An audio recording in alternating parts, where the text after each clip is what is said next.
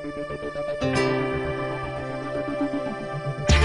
the Moscone Center in San Francisco, California, it's theCUBE, on the ground at Dreamforce 2014.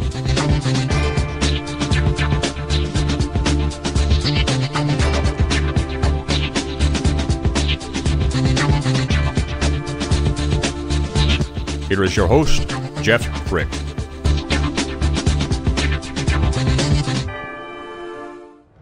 We couldn't be happier, and uh, we also couldn't be more grateful. And I'll tell you, uh, Dreamforce has turned into an amazing conference, uh, the largest uh, software conference in the world. Uh, we have more than 135,000 people registered to attend here, which is incredible. Plus, that's just in person, plus we're going to have over 3 million more join us online as well.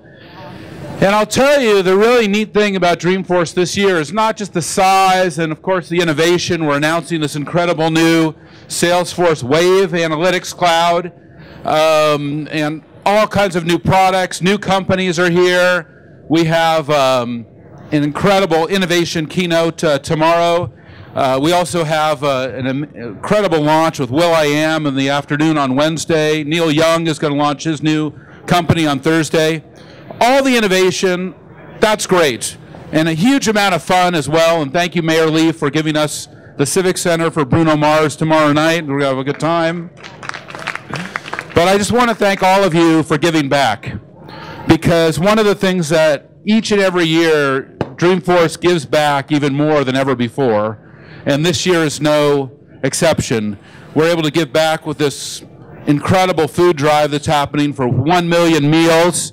And I just want to thank Tony Robbins for matching that with 1 million more meals. So thank you, Tony. Totally great. We also have an amazing program tomorrow night where we've raised over $8 million for our new children's hospitals in San Francisco which is Dreamforce has raised over $23 million now for our children's hospitals. And uh, we also have an awesome program on Wednesday for our vets as well, uh, and uh, helping all of our vets get uh, jobs. And so Dreamforce is really giving back in a huge way, and so I want to just thank all of you for that. Okay, well, with that, I'd like to just turn it over. Nancy, thank you so much for coming to Dreamforce and being here and giving us so much support for all these great years. Thank you very much. Thank you very much, Mark, for excuse me, all of your leadership. Dreamforce, a little over a decade, they had the first Dreamforce, and it was about what 1,300 people. This year it will be a hundred times that many participants. Just goes to show you what how big the dream is. So I want to thank Mark and Salesforce as an elected official, I thank you for honoring the vows of our founders, which was to have a democracy where people would participate. And what you are doing with Salesforce and now Dreamforce is to strengthen and enable customers that are citizens, people in our country, to have a stronger voice, a stronger connection. They asked me to tell you briefly what I saw this morning. What I saw this morning was City 311, a central command where citizens, where people, citizens or not, could call in and be connected and, and register a concern. I saw what they were doing with VA Stat, how we honor our veterans by giving them a stronger voice through technology. I saw what they were doing to enable people more easily to access the Affordable Care Act and what that means for children, families, and seniors in our country. So it strengthens, when President Clinton was president, he called the people the customers, the customers of government. It strengthens people's customers' voices. So we thank you for honoring that part of our democracy. We also thank you for honoring the service of our veterans, the aspirations of our children with you and Lynn and all of that you are providing for children's health in our area and children learning technology to strengthen their voices.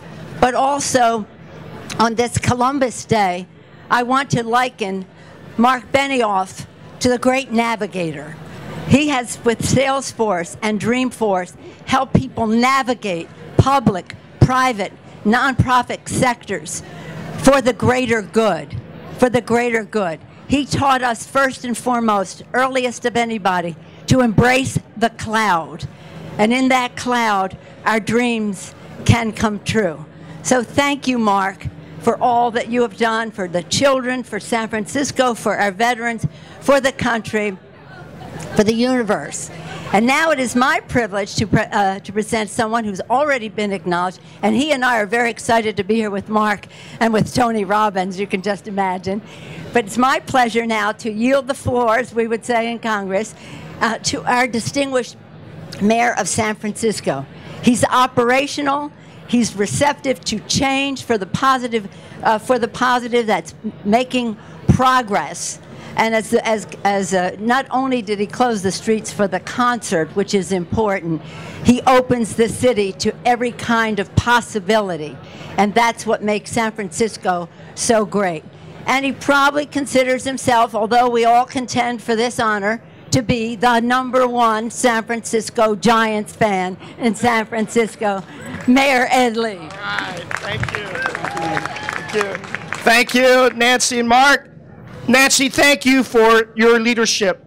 You are our speaker. You're our conscience. You're our representative. Go, girl. We need you in Washington. Thank you very much. Go, Giants. Ladies and gentlemen, it's October. Welcome to San Francisco. It is Dreamforce time. You don't know how excited I get when it comes to October. I want to welcome all of you here to what used to be Howard Street, is now every October, it's Innovation Park.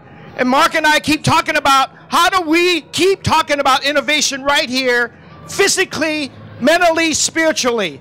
And I want to say thank you again to Mark and Lynn for being such great San Franciscans.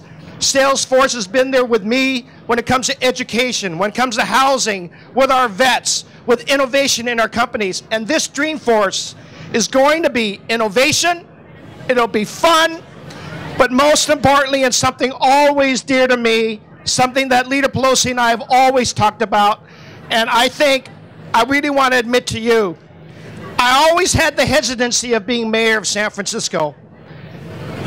And I wish for the day where I could talk to all these companies that are coming in and say, can we all work together to make this city successful? Well, you have the gold standard in Salesforce.com right here in San Francisco. People, that's the number one thing they focus on, is their people. And when they model the 111 model for all of us, using people, technology, and resources to reach out, that really warms my heart. When they come with me to the schools and say to each other and to us, we can lift the schools up with our innovation, that warms my heart when the people and the employees of Salesforce say, yes, we can give another million meals, joining Tony, that again warms our heart. This is the essence of what I've always felt. Companies, great companies, companies that are started here in San Francisco, grew up here, and will be here forever. This is what San Francisco means to me. And by the way, if you're wondering, across the country, there's a reason why the initials Salesforce SF combines with San Francisco. It is our heart.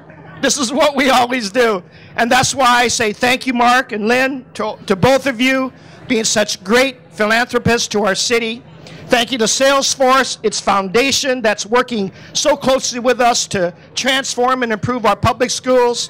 Thank you to the employees of Salesforce and all of your subcontractors. Everybody here at Dreamforce this is really great for our city, great for the region, but also great for the world.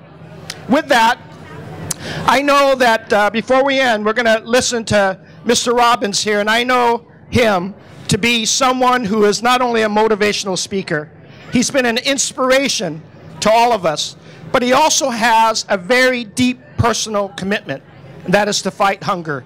And so I hope all of you brought a can, just like Leader Pelosi, Mark, and I did, and that we will meet this match. We're going to have Tony Robbins come up here and explain a little bit more what this match is. But please help me welcome someone who's not only motivating us, inspiring us, but he is.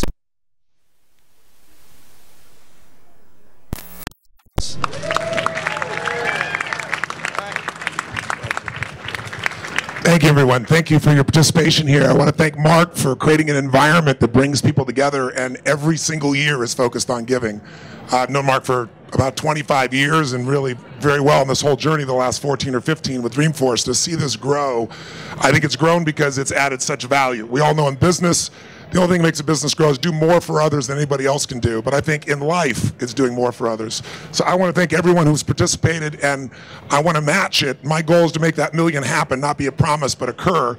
And I'm not doing it as grandstanding. It's because for me, I know that in this country, one out of four families, well, here in Marin County in San Francisco, one out of four families are not sure if they're going to have food at night. One out of 11 children live in extreme poverty of $11,000 a year. So when you live in San Francisco, when you're in the tech business, it's pretty easy to start to think about, you know, what challenges are and forget what they really are. Half the planet lives on $2.50 a day. So I know that those statistics are real lives. I grew up in that environment. We had times with no food, and I'm here today because one day when I was 11 years old, there was no money and no food on Thanksgiving, which magnifies it because, you know, everyone else is having a giant feast we wouldn't have starved. We would have found something, but nothing would have happened. Somebody knocked on the door and delivered this meal to me. So I've been paying it forward for the last 37 years. I've fed 42 million people during that time through my foundation. But this year I decided when Congress, and I know you didn't participate in this, Ms. Pelosi, but Congress last summer cut what was known as food stamps in the past by $8.7 billion. That's the equivalent of every family they support going without a meal for one week out of every month for 12 months. And it's just gone by.